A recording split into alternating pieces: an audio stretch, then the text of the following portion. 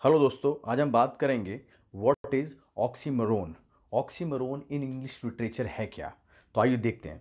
ये एक figure of speech है, ये एक लिटरेरी डिवाइस भी है। इसका जो टर्म है ऑक्सीमरोन जो शब्द है, वो दो शब्दों से मिलकर ग्रीक के, उनसे मिलकर ये बना है।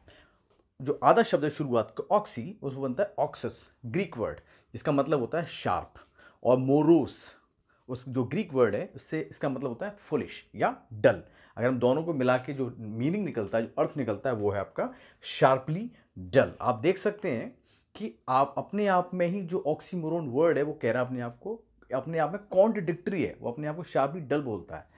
इसकी डेफिनेशन इस तरीके से है it is a figure of speech pairing two words together that are opposing और कॉन्ट्रडिक्टरी ये एक फिगर ऑफ़ स्पीच है और इसमें क्या होता है कि दो वर्ड्स आपस में पेयर करते हैं और अपोजिंग होते हैं वो आपस में एक दूसरे के अपोज होते हैं वो वर्ड एक साथ आते हैं और अपोज होते हैं मीन्स कॉन्ट्रडिक्टरी होते हैं, विरोधाभास होता है उनके अंदर। तो आइए इसे एग्ज़ाम्पल से समझते हैं।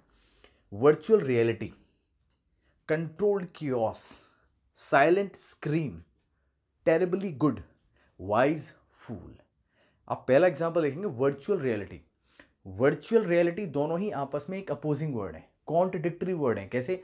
आप जब वर्चुअल का मतलब होता है, मान के चलिए जो आप गेम खेलते हैं, पबजी, अपने कंप्यूटर पे, वो पबजी के अंदर जो आपको जो कुछ दिखाई दे रहा है उस गेम के अंदर, वो पूरी तरीके से वर्चुअल है। वो रियलिटी नहीं है, उसका रियलिटी से कोई संबंध नहीं है। मगर रियलिटी जो दूसरा वर्ड है इसमें, जैसे कि आप अपने स्कूल के अंदर क्रिकेट खेलते हैं तो एक रियल गेम है वो, पबजी के कंपैरिजन तो वर्चुअल और रियलिटी यहाँ पर तो एक साथ इस्तेमाल हुए हैं और ये एक ऑक्सीमोरोन का एग्ज़ाम्पल है। ऐसे कंट्रोल्ड क्योस कोई भी क्योस कंट्रोल्ड कैसे हो सकता है?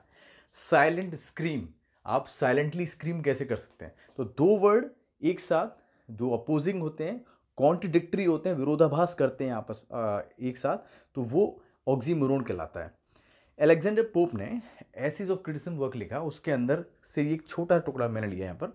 The bookful head ignorantly read with loads of learned lumber in his head, with his own tongue still edifies his ears and always listening to himself appears.